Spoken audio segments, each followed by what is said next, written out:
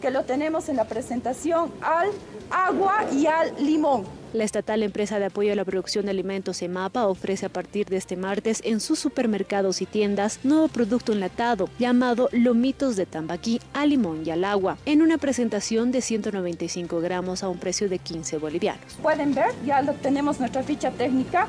Asimismo, de este producto tenemos nuestro Senasac, ya tenemos el Senasac del producto y tenemos la ficha técnica del el tambaquí sin piel que está ya en una presentación que nos sirve de materia prima para el producto ya elaborado y transformado en estas latas del tambaquí, de los filetes de tambaquí. La empresa estatal obtiene los lomitos de tambaquí en la planta piscícola del trópico de Cochabamba. En este complejo industrial se produce desde alevines, engorde y transformación de peces. Luego es eviscerado, se le quita la cola, la cabeza, la piel y las espinas. La carne de tambaquí es transportada en camiones con cámaras de refrigeración hasta la empresa Audax, que es la encargada de enlatarlo mediante un convenio con la estatal. Nosotros tenemos eh, en nuestra planta toda la línea de de, enlatados. Eh, recibimos el producto, como la ingeniera lo ha explicado, en filetes cerrados al vacío y nosotros terminamos el proceso eh,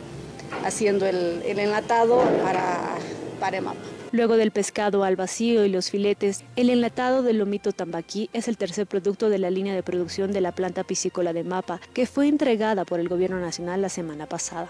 Por lo cual también vamos a invitar a todo el pueblo boliviano y además nuestra empresa de los bolivianos ya abastece al mercado interno, al subsidio eh, universal eh, en diferentes presentaciones. Por otro lado, queremos manifestar el estado del proyecto entregado.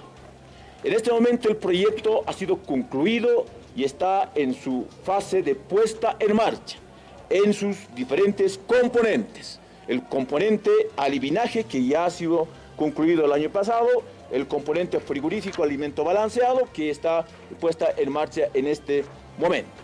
Con la puesta en marcha de esta nueva industria y otras que están en construcción, el gobierno apunta a elevar el consumo per cápita de carne de pescado, pasar de los actuales 2.6 kilos por persona año a 12 kilos por persona, como lo sugiere la Organización Mundial de la Salud, OMS. Y desde Cochabamba, 70 empresarios privados se preparan para participar de la Expo Cruz.